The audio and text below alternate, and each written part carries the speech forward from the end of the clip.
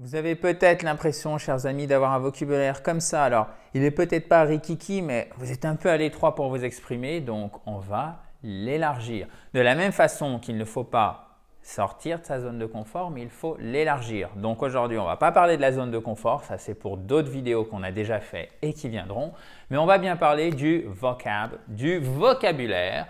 Comment dire que euh, QCH, quelque chose est bien, mal, mauvais en anglais et on va commencer, puisque c'est la part 1, par bah, les choses positives. Le bien, bien, bon, bien évidemment, si je puis dire. Pour aller un petit peu plus loin, euh, vous l'aurez compris, je vais garder le rouge, oui, c'est pas mal. Que good and bad, le sempiternel, les sempiternels good and bad. Donc bien, bon, d'accord Mauvais, mal parfois. Donc, je vous ai mis trois points. Le premier avec non pas success, mais bien success. Attention, notre accent tonique qui est là.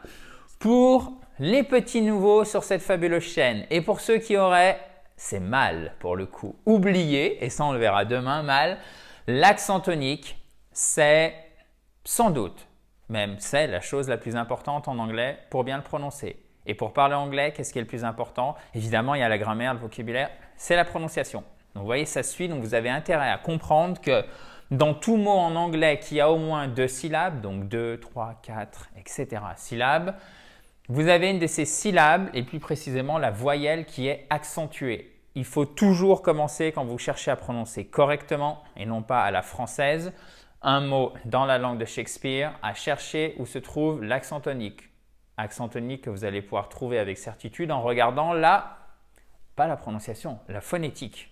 La phonétique, et oui, qui est quelque chose comme vu de quelque chose qui est vu comme aride, euh, très théorique, mais en fait, quand on s'en sert de manière pratique, on a fait des vidéos là-dessus, c'est extrêmement utile parce que phonétique permet de trouver l'accent tonique, accent tonique permet de prononcer, prononciation permet de parler.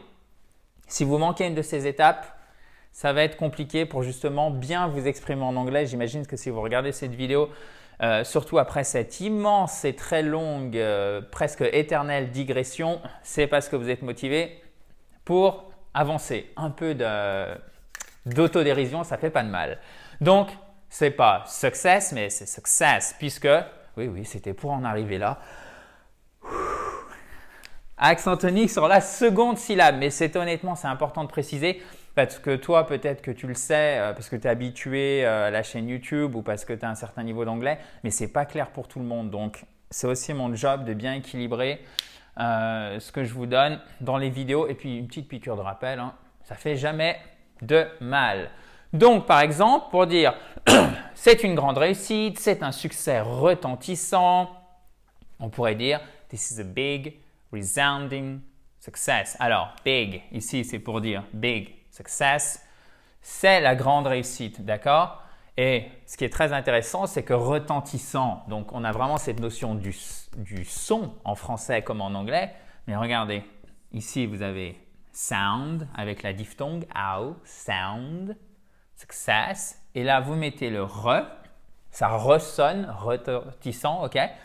Accent tonique ici, Resounding. Et vous le savez, en fait, le i court que vous avez là et là, en fait, c'est l'équivalent. Enfin, c'est pas l'équivalent, mais c'est proche. Donc, c'est pas exactement pareil, mais c'est assez vraiment très proche du quasiment du e accent aigu. Ok? Big, resounding. Ok? Qui est là, bien évidemment, atténué. Encore une fois, ces exemples, vous pouvez les noter, mais ça ne surtout pas apprendre par cœur. Première étape, vous apprenez pour vous en souvenir de manière passive. C'est-à-dire quand vous allez lire, quand vous allez entendre, maintenant, après cette vidéo, normalement, vous pourriez et vous devriez comprendre ce vocabulaire. Ce que vous devriez faire, deuxième étape, de manière active, c'est vous entraîner, parce qu'à chaque fois je le détaille, à bien prononcer ces mots. Ça, c'est extrêmement important en notant notamment la phonétique dans votre cahier d'apprentissage. Je sais que c'est un peu petit, etc., même c'est super petit, mais on ne peut pas tout noter. Vous pouvez aller voir, euh, sinon il me faudra un tableau, euh, il faudra que j'ai deux tableaux, je vous les fasse passer, enfin ça irait pas, ça serait pas possible. Allez voir sur le Cambridge Dictionary, vous avez toute la phonétique, c'est euh, disponible en ligne de manière libre, en libre accès si je ne dis pas de bêtises, donc profitez-en. Troisième chose, une fois que vous avez noté les exemples sur votre cahier d'apprentissage, surtout si vous avez déjà un niveau pré-intermédiaire, intermédiaire, parce que là, c'est vraiment du vocabulaire pré-intermédiaire, intermédiaire qu'on revoit. Vous notez ça sur votre cahier d'apprentissage dans les jours qui suivent, les semaines qui suivent, vous revoyez le vocabulaire en cachant la traduction en anglais. et vous partez du français pour essayer d'aller sur l'anglais. Continuons, si vous le voulez bien, dans la joie et la bonne humeur. Ici, nous avons un mot qui est un petit peu long. Donc, vous avez votre accent tonique ici, et vous avez ce qu'on appelle un accent secondaire pour éviter que le mot, en fait, s'écroule sous son propre poids. C'est-à-dire que là, ben, il y a un espèce de pivot central, mais il est trop long, donc on a rajouté un petit support là au début. C'est un accent tonique secondaire, donc il est moins prononcé que celui-ci, ce qui nous donne opportunity. OK? Opportunity. Et non pas occasion. Occasion, c'est par exemple, ça va euh, s'utiliser en anglais lorsqu'on parle d'événements spéciaux, par exemple, special occasion. Mais pour dire une opportunité, c'est une occasion, c'est une bonne occasion. On va utiliser, pour dire c'est une bonne occasion, on va utiliser en anglais, donc méfiez-vous à pas dire occasion, on va utiliser opportunity, ok? This is a tremendous, golden, amazing, awesome, great opportunity. Donc ça, vous voyez, c'est le champ lexical de l'opportunité géniale. C'est une opportunité énorme, tremendous, ok? Accent tonique ici, et ça, c'est comme un E. Tremendous, énorme. Golden, et pas in gold. Ou in gold, non, non, non, golden. OK? C'est un accent, c'est accent tonique ici et c'est une diphtongue AO. OK? Golden. Amazing, awesome, great. Trois des adjectifs. Je pense que c'est les trois adjectifs préférés des, euh, anglophones et en particulier euh, dans toute l'Amérique du Nord. Uh, this is amazing, this is awesome, this is great. Ça, c'est des mots que vous devez connaître absolument par cœur et que, à ma grande surprise, et malheureusement, on ne vous les enseigne pas directement dans les méthodes entre guillemets académiques, surtout euh, celui-ci. Ça n'a rien de familier, hein. c'est vraiment dans le langage courant, à connaître absolument. Et je vous ai mis un petit phrasal verb, une phrase vraiment euh, authentique. Vous verrez souvent Don't miss out, don't miss out on this. Don't miss out on this, ça veut dire ne la manquez pas. To miss out on something, ça veut dire manquer quelque chose. Mais là, quand vous dites ça, c'est vraiment, il y, il y a quelque chose de manqué qui serait vraiment dommageable pour vous. Parce que c'est miss, c'est raté, mais c'est miss out. C'est même encore pire que raté. Ne loupez pas le coche, en fait. On pourrait même le traduire comme ça, ne loupez pas le coche. Donc, this is tremendous, this is golden, this is amazing, awesome, great, et pas great, ok? Great opportunity. Ok, ensuite, beaucoup de ensuite, mais continuons, chers amis. Sage, saint. Wise et sound. Wise, c'est sage et sound, c'est le son bien sûr, mais c'est aussi un adjectif qui signifie saint. D'ailleurs, il serait sage, si vous voulez améliorer votre anglais, que vous abonniez à cette fabuleuse chaîne YouTube. Vous aurez noté la transition. En cliquant sur le bouton rouge en bas à droite et profitez-en aussi. Alors, la chaîne YouTube, c'est gratuit.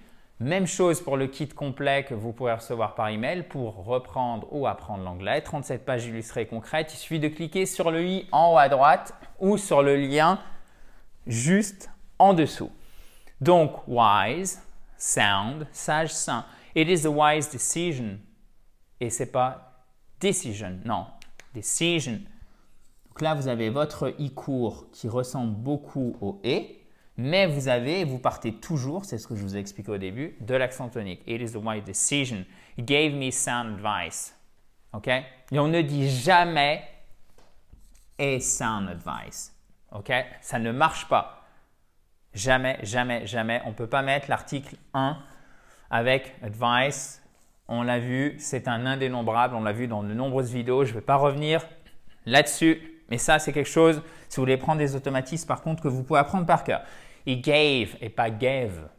OK? Gave, great. C'est ce qui fait toute la différence si vous voulez euh, avoir un accent qui fasse vraiment anglophone. Euh, ne dites pas great, mais dites great, parce que c'est comme ça que ça se prononce. Même chose, ne dites pas he gave, non, he gave, Sorry. Uh, uh, just say he gave. Ok, je me mélange en deux langues. Désolé. Donc on récapitule. Success. This is a big resounding success. Opportunity. Ok, et pas occasion pour dire opportunité en français. This is a tremendous. This is a golden, amazing, awesome, great opportunity. Don't miss out on this. Ok, ne loupez pas le coche. C'est une opportunité formidable. Euh, c'est très, vous avez peut-être l'impression que c'est vraiment, on est dans l'emphase totale, euh, ce qu'on pourrait nous considérer, surtout dans une culture franco-française très commerciale, etc. C'est extrêmement courant dans les pays anglo-saxons, beaucoup plus que chez nous, ok? Et je pense que ça choquera euh, pas grand monde, que ce soit Royaume-Uni, Irlande, etc.